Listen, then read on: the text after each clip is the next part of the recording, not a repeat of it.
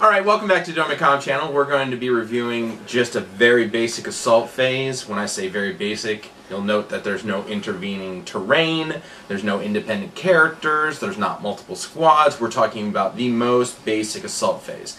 This, I've been getting quite a few PMs regarding the request for this.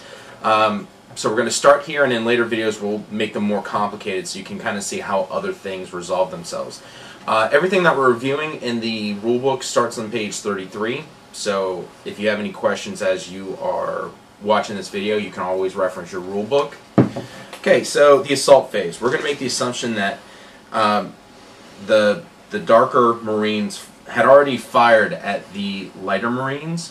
One thing to remember, you can only assault the unit that you fired at. So for instance, if this group had fired at some other unit and took them off the table. They could not turn around and assault these guys on the same round.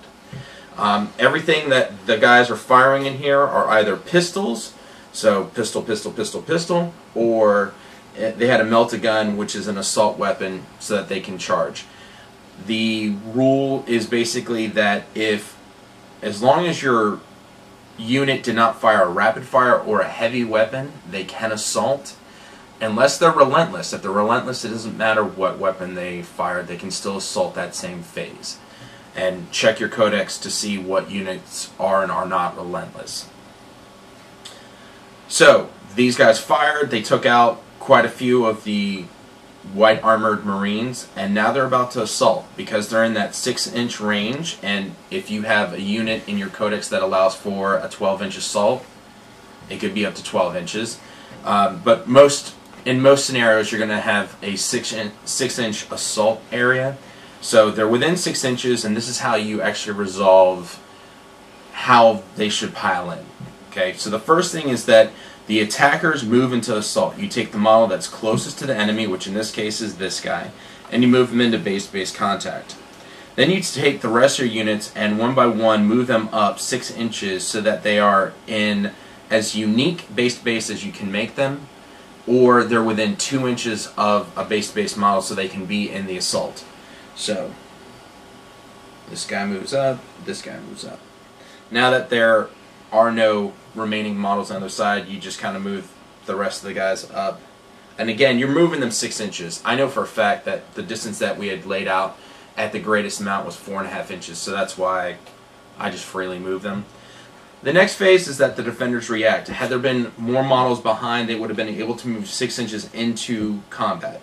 If the models are already in base-to-base -base contact, they cannot be moved six inches away to try to avoid being in contact with models that they're in combat with. The notion of defenders react is not to reduce the number of models in close combat, but to try to get everyone into close combat at once. In the new 5th edition rules, the notion of close combat is to have one side completely decimate the other, if at all possible, in an individual turn so that you can move through your entire game a little bit faster. Okay, so the since they're generic Space Marines for each one, they are going to have the same initiative, with the exception of the guy with the Power Fist. People with Power Fist have always have an initiative of one. I'm going to pull the Space Marines aside from one another, and we're going to count out exactly how many hits each side's going to have.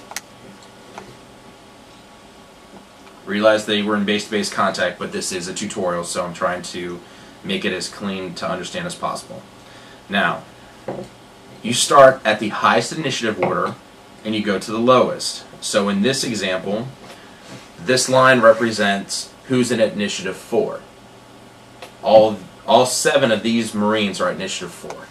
This guy back here is at initiative one, so he will be fighting at a different initiative. So let's count how many dice will the assaulting group get. First off, each Space Marine starts off with an attack of one. These three have two close combat weapons, so now it's two for attacks for these three and one attack for this guy but they also initiated the assault, which means they add a plus one. So now we have three, six, nine, and you add two for this guy. One for his base attack and one for being on the assault. So that's 11 dice to roll to hit. These guys as defenders, since they don't have two close combat weapons, are simply going to get one apiece as their base stat explains. So 11 hits, 3 hits. Let's go ahead and resolve that combat. I'm going to roll one side at a time, but since they are all are at the same initiative, even if this side completely decimates this group, they will still have a chance to fight back. Now, what do I have to roll in order for these guys to hit these guys? They both have weapon skill of 4, so if you look at the to hit in the assault phase chart, you'll note that I need 4s from these 11 dice to hit these guys. So let's take a look at how many hits. Pretty good rolling. Out of the 11 dice, 7 are hits. Now we have to determine how many of those hits become wounds. The strength of each one of these guys is 4. The toughness of each one of the defenders is 4. And again, you'll notice in the to wound chart uh, that if the strength is 4 and the toughness is 4, that I require 4 in order to cause these hits to become wounds against the defending models. pulling out the misses, we see that there are two wounds. Okay, so I've rolled to hit, I've rolled to wound. None of these guys have power weapons, so the defending Space Marines get to utilize their power armor as saves. So the defenders take these two dice, and as long as they roll three or higher, they basically ignore the wound. We rolled a 1 and a 4. That means one of the guys will be taken out of combat at the end of this initiative. But these three guys get to attack back. So they're going to take their three dice, and they're going to roll to hit. Again, weapon skill 4 versus weapon skill 4 means that the defenders need a 4 to hit the attackers. And they roll a 4, 5, and 6. They're rolling outstanding. Now we have to determine if the defenders wound the attackers. Again, their strength is 4 against the toughness 4 of the attackers. So they require 4s from the hits in order to cause wounds. And they roll a 1, 3, and 6, which means you take two of the dice off, and the 1, 6, which was a hit, now is a wound, but a savable wound, because again, these guys do not have power weapons, so the attackers can use their power armor. They roll a 5, which means they the armor saves the person from actually being hurt by that wound.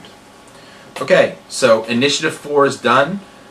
You remove the, the guy. You now start rolling down the rest of the initiatives. Three, two, one, and we're now at the Power Fist guy.